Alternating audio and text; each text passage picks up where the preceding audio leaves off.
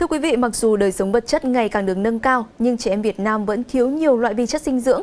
Theo báo cáo của Viện Dinh dưỡng Quốc gia, chúng ta đang phải đối mặt với nhiều vấn đề về dinh dưỡng như tình trạng thiếu vi chất dinh dưỡng, thừa cân béo phì, tỷ lệ suy dinh dưỡng thấp còi cao và có sự chênh lệch khá lớn giữa các vùng miền. Vâng, vậy thì cụ thể trẻ em Việt thì đang thiếu những cái loại vi chất như thế nào? À, và làm thế nào để trẻ em từ thành phố cho đến miền núi thì cũng được cung cấp đủ vi chất? Và xin mời quý vị và các bạn cùng đến với những phân tích uh, cùng với câu chuyện buổi sáng ngày hôm nay.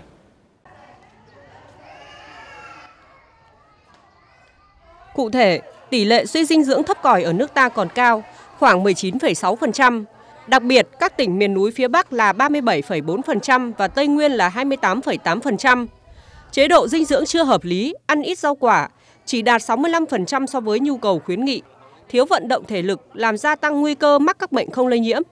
Tình trạng thiếu vi chất dinh dưỡng này khiến sự phát triển thể chất của trẻ em Việt gặp nhiều cản trở, khiến tầm vóc người Việt còn rất khiêm tốn.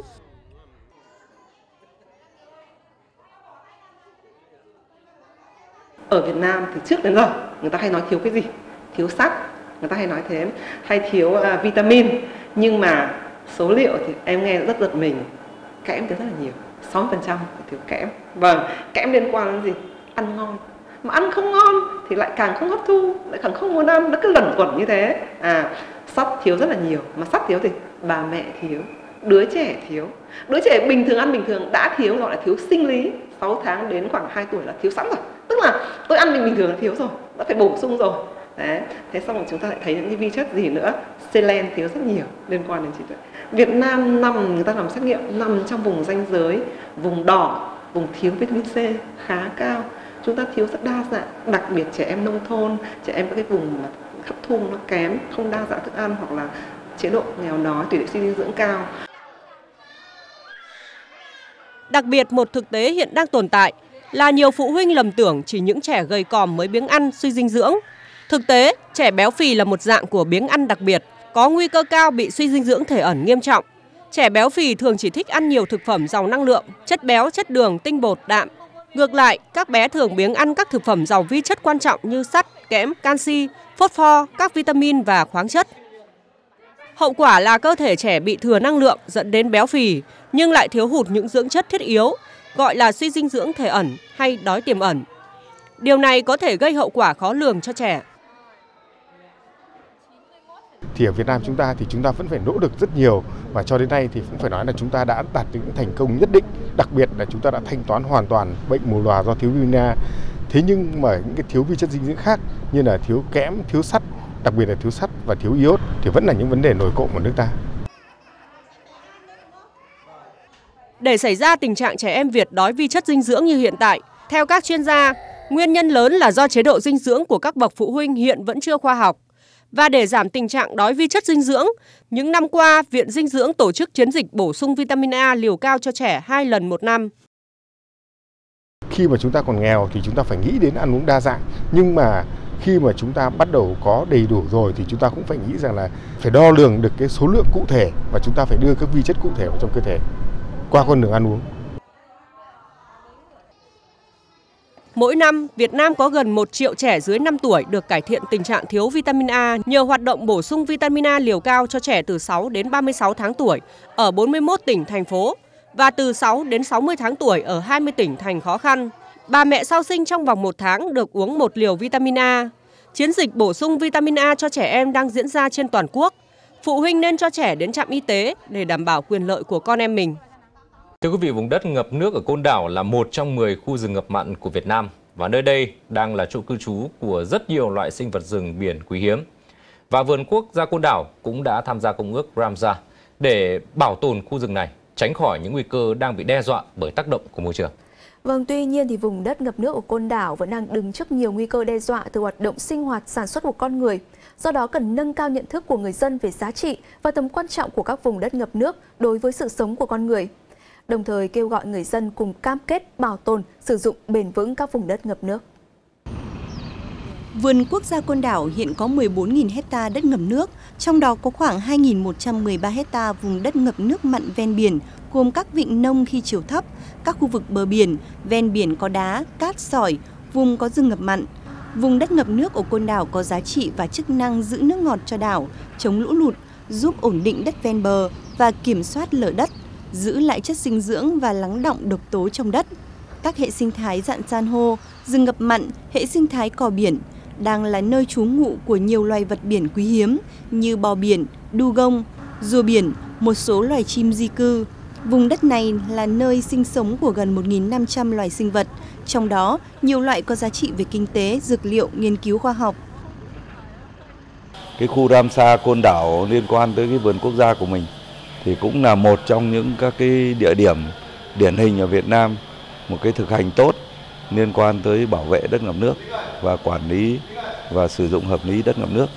Ờ, và đối với các cái giải pháp ấy, thì ờ, cái bài học kinh nghiệm thế giới cho thấy rằng là chúng ta phải thích ứng ờ, với biến đổi khí hậu dựa trên các cái vùng đất ngập nước ấy, là phải trên nền tảng của cộng đồng. Bởi vì cộng đồng là cái người vừa có quyền lợi và vừa có trách nhiệm đối với các cái nguồn tài nguyên của đất nước trong đó có vùng đất ngập nước. Tuy nhiên, vùng đất ngập nước ở quần Đảo đang đứng trước nhiều nguy cơ đe dọa từ hoạt động sinh hoạt, sản xuất của con người. Việc khai thác đánh bắt quá mức hệ động thực vật ngập mặn dẫn đến mất khả năng phục hồi tự nhiên của hệ động vật dưới nước. Nguồn nước thải chưa được xử lý, rác thải sinh hoạt đổ ra các thủy vực làm ô nhiễm đất ngập nước.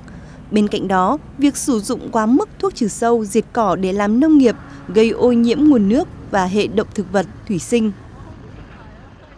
À, về cái khó khăn thì do con người á, thì hiện nay thì cái vùng biển Côn Đảo bị ảnh hưởng ngày càng nhiều về cái cái, cái lượng rác rác thải rác nhựa đại dương đây là cái rác mà có hàng năm là trôi tấp vào các cái bãi biển ở Côn Đảo rất là là nhiều Đấy, thì cái cái mà mà mà ngoài cái vấn đề là nó ảnh hưởng tới các cái hệ sinh thái của cái vùng triều ảnh hưởng tới cái ô nhiễm tới nguồn nước biển cũng giống như là nó ảnh hưởng tới cái trực tiếp các cái bãi đẻ của rùa biển. Đấy, thì đấy là coi như là, là, là ảnh hưởng. Ngoài ra thì coi như là cái vùng biển côn đảo là một cái vùng biển mà nói là có cái ngư trường lớn cho nên một số các cái ghe tàu mà đánh bắt của các cái cái, cái tỉnh họ tập trung về côn đảo để đánh bắt thủy hải sản à, họ đánh bắt là ngoài cái cái cái, cái vùng bảo tồn thôi à, ngoài cái khu đầm xa thôi. Tuy nhiên vẫn có một số các cái phương tiện họ là cái là xâm nhập vào trong cái vùng biển à, mà họ để đánh bắt. Và những cái phương tiện này là những cái công suất là lớn à, giống như là cái tàu cao chẳng hạn hoặc là cái tàu mà sử dụng các cái, cái lưới đen để là khai thác các cơm chẳng hạn. À, thì nó khai thác như vậy thì chúng tôi cũng rất là khó khăn để mà xử lý và ngăn chặn.